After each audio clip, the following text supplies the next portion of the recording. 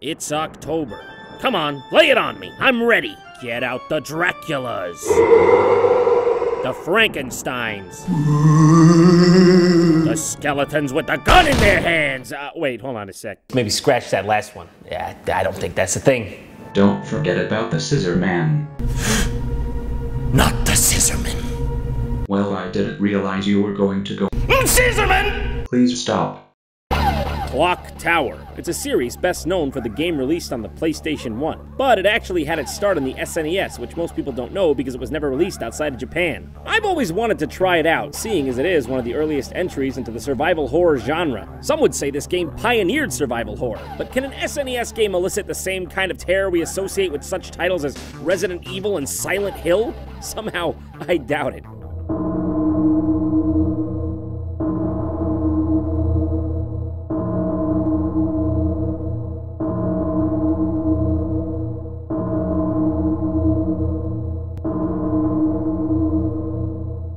Clock towel?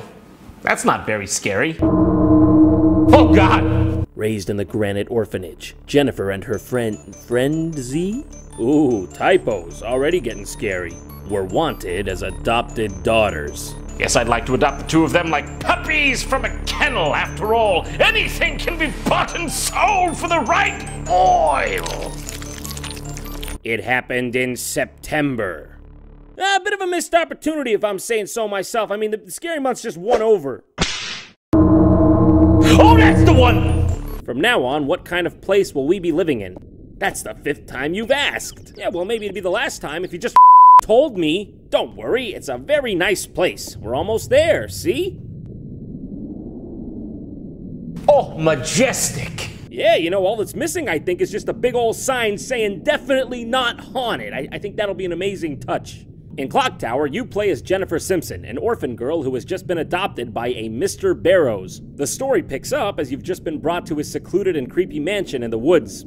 I gotta go get Mr. Barrows. Everyone wait here.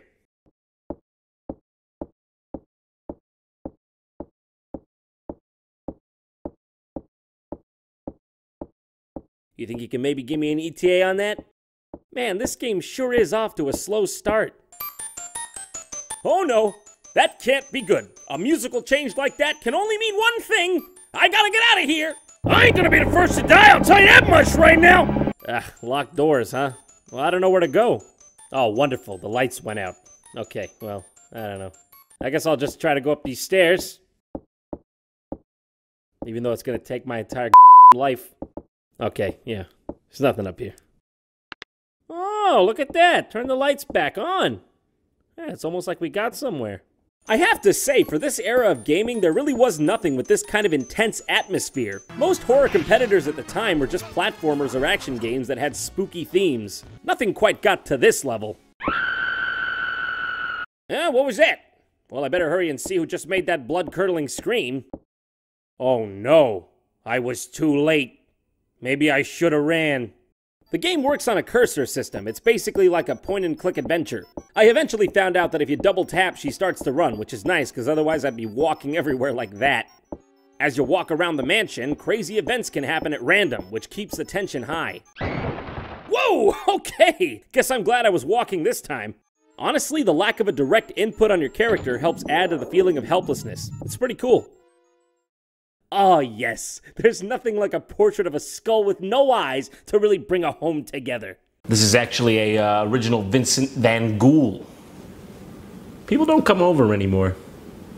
The game also brings itself to life by showing really detailed close-ups of the items you find. Like look at this broken picture of these two kids. The artwork is fantastic. So much terror is portrayed through this angle and lighting, especially for 16-bit graphics. It's genuinely creepy. Well, just because I'm being haunted doesn't mean I can't be beautiful.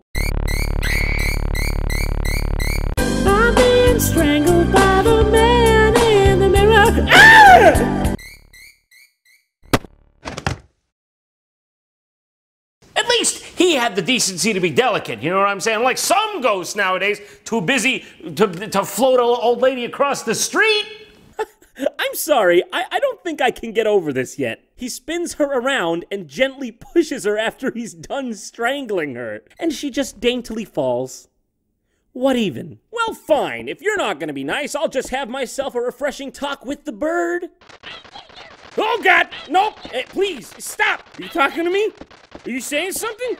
I kiss you? I kiss you. I'm near you. I'll kill you. Not now, Jacques. I'm trying to figure this out. Ah, you messed me up. Dead from lack of addiction. I'm getting a bit sick of these dead ends. I just want the plot to progress already.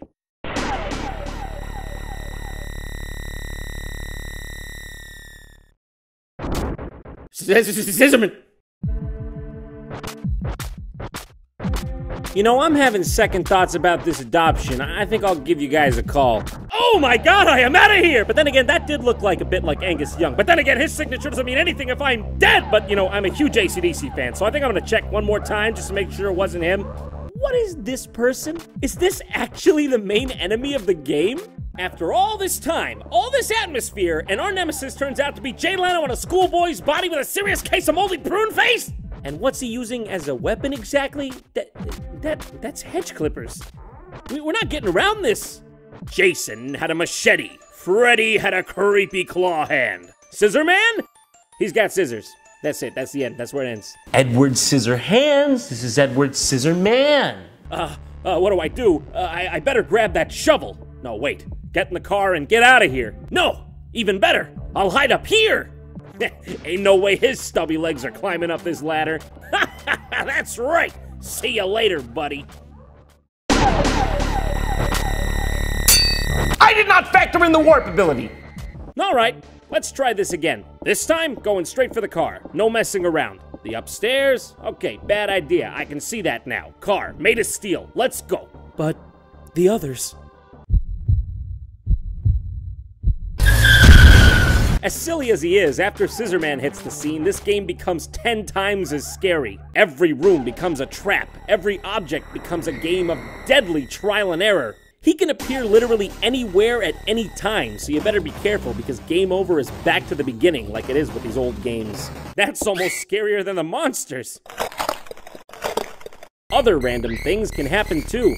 Okay, well, this is unfortunate. Now I gotta play the rest of the game as Pig Pun Pig Pen for the, for the peanuts! Picked up some ham. This'll kill him. It's a swimming pool. Actually, that's a window. Ah, hole in the floor. We meet again. I guess I'll just put this simple wood plank over the top of it. Just a simple plank of wood. Who are you to judge?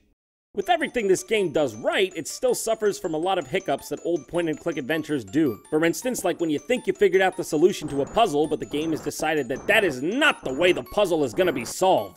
Which, of course, leads to you having to backtrack and put a piece of ham in your pocket or something, just some obscure tiny object that you paid no mind to. All the way on the other side of the map is the key to progressing. Wouldn't it be funny if someone were like hiding behind the drapes like it was a horror movie or something? Alright!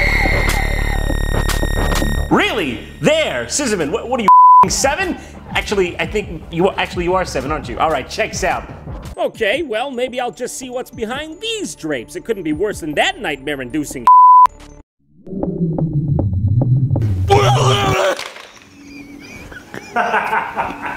so can I start therapy now, or should I wait for the nightmares to set in? Eventually, you get to the top of the clock tower and find out that Dan Scissorman, yeah, yes, by the way, his name actually is Dan, really hates the sound of tower bells, uh, for some reason. Listen, even if you don't like the sound of bells, that was just a very poor route to take. Also, this lady backs off a cliff because some birds are bothering her. Yeah, that's the story, folks. Remember that powerful scene from Star Wars where Emperor Palpatine backed off into the nebulous void because he was annoyed with some birds? I still cry. Listen, next time, you're getting adopted. I'm dead inside forever now. Man, I mean, that was so enveloping. I almost believed it was real, but it's all in the spirit of the holiday. I mean, it's good to sit back and remember that scissors don't actually exist. Oh, wait a second. What's this? But that's impossible. If scissors don't exist, how did someone clip out this article? It can't be.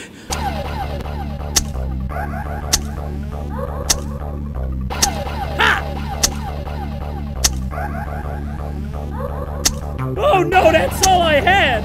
Come on, Jon, think, think, think! I got it! Ham, the harbinger of gout, and a scissorman's worst friend.